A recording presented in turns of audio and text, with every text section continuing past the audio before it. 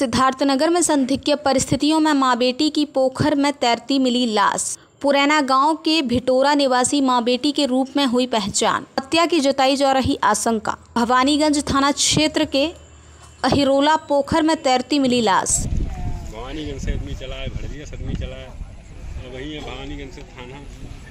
नहीं आता है। रही लागत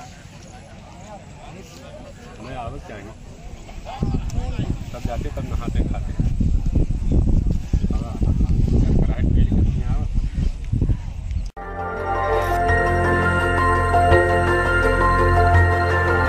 देखते रहिए डीवी भारती समाचार नज़र हर खबर पर।